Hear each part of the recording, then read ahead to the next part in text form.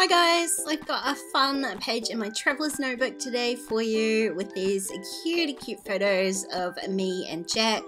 Um, like I literally went and saw him on Monday and took these photos and had to scrap them straight away.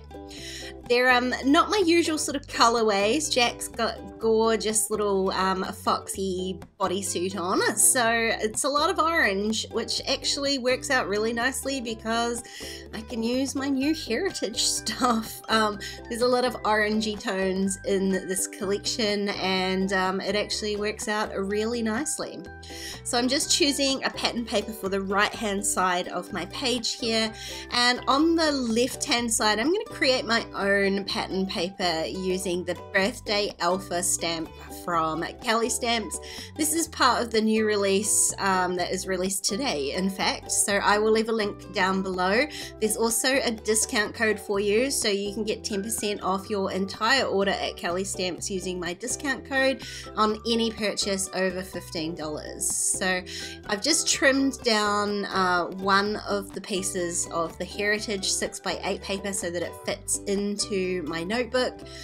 Uh, and I want to create a sort of folded flap. I printed out this photo. The larger photo is about three by three inches, um, but I had a bunch. I had a bunch of photos, and I wanted to use more than just one. So I created this little collage of some of the outtakes, I guess, the more blurry photos when a little baby is trying to uh, grab the camera out of your hand. He loves the camera, by the way, so he's like my perfect nephew. Um, and I've just created that little collage in Photoshop, you can easily do that on an app on your phone as well. So I've trimmed down um, a piece, a second piece of pattern paper. This one's a little bit more um, are busy. It's orange and yellow and green and gold and I really love it. So I've created a flap. So the top part of my um, fold here is going to be covered with my larger photo and on the inside of the flap is where I'm gluing my little collage and I'm just bending that back and forth just to make sure that that fold is really quite loose so that it folds up and down um, freely on the front, so you can see on the front there is where I'm going to stick my larger photo. And I just want to add a little bit more detail to the background paper first. So in my recent scrapbook.com haul, I grabbed some of this Nuvo embellishment mousse and it's this really pretty light goldy sort of color. So it works nicely with the photo and the background paper. And I'm going to use my little heart stencil from Paige Evans uh, just to add a few little gold hearts. Now, obviously my photo folded flap photo thing's gonna take up most of that room. So I'm just adding a, a few to the top corner um, and the and the bottom corner down there. Some of it will get covered up by the flap but um, a lot of it is just gonna give that really subtle texture and shine. You can see here after I impatiently let that dry. It's not quite dry yet. I do have uh, did sort of hit it with the hair dryer a little bit. Um, so while that's finishing up drying I am going to create the pattern for the left hand side of my page. I don't want to stamp this straight into my notebook because I know if I do I will muck it up. So I've trimmed down a little bit of um, just some regular printer paper.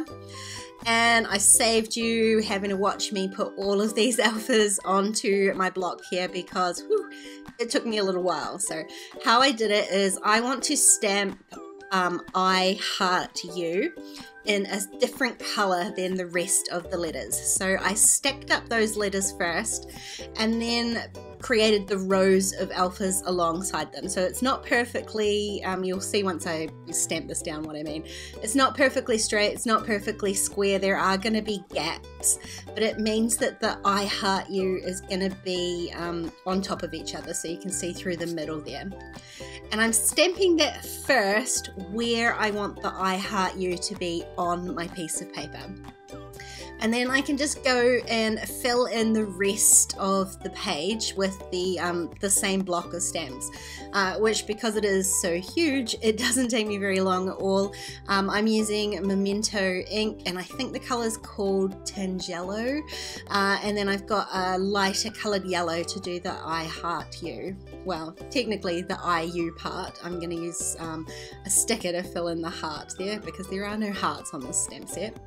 You can see here how quickly the pattern fills up and then once I've finished uh, stamping this larger block of stamps, I can go in and fill any gaps that are left with some other letters that fit. Now the second column of stamps that I'm doing here, I'm lining them up uh, so they're not identically the same. So I'm just starting the stamp in a slightly different place, but making sure that the rows of letters line up. And that way when I fill in all the leftover pieces with extra letters, it won't look odd that it goes A, B, C, D, K, A, B, C, D, if you get what I mean. Hopefully you get what I mean. If not, you can see what I'm doing right here. Now I'm just going to use a tiny little block to fill in the rest and my lighter ink, I'm only going to stamp the two letters, so it's the I and the U down here. And that will just help that stand out. It's sort of subtle because the, the main focus of the page is going to be on the photo, but this is almost like giving it um, a secondary kind of cluster at the top here, which isn't actually a cluster. And then I'm going to use my darker ink again to fill in all these little gaps and um, I no longer need all these alphas on my block so I can go ahead and fill those in. So that's my pattern paper created um, and I can just go ahead and stick that into my notebook. The, um, the pattern paper from the Heritage Collection is a 6x8 pad, so when I trim that down to fit it into my notebook, it's not going to run top to bottom. There's going to be a little gap around all four sides, uh, but this piece that I've created is top to bottom, so it fills up the um, entire page. I don't mind that look, it kind of, it gives this right hand side almost like the look of a frame, so I think it works really nicely, um, combining those two different styles. Now I just need to fill in the heart piece and the, I mean one of the reasons I chose the colours for the stamps um, was from my photo and from the heritage but the lighter colour I chose for the I Heart You works really nicely with this peachy coloured heart that was in the sticker set. Uh, so it all just worked out really nicely and actually ended up being uh, a little bit coincidental that it's the same colour peach that's on the right hand side. So Obviously luck was on my side today. I was thinking about stamping this uh, You Make Me Laugh stamp from the LOL stamp set, but I don't think the ink will look very good. I think it's going to be better as a digital stamp, so I'm going to show you how I do that in Photoshop. So this is my edited photo. It's the same photo I printed before. It's a 3 by 3 um, square. But what I want to do is add the You Make Me Laugh digital stamp to this before I stamp it so it stamps a little bit better or looks a little bit better. Just going to resize that before I place it. Um, it's probably a little bit bigger than the original stamp, but that's fine by me. I want to make it a bit more prominent. I'm just going to hit return. And then over in my layers palette, um, I'm to add a bit of an effect to this just because uh, the stamp sits on some of these white bits here so it doesn't stand out particularly well. Um, so I'm just going to double click that and add a layer style and the style I want to add is Outer Glow. Um, it doesn't make much difference at the moment because I've got it on screen. So I just click this. There's all sorts of things in here that you can add, but the one that I'm after is multiply. Just play around, have a look through them, see what you think. Um, and I'm going to change the color instead of white. So screen means it um, makes it lighten and multiply means it makes it darker. So there's no point trying to darken something that's white.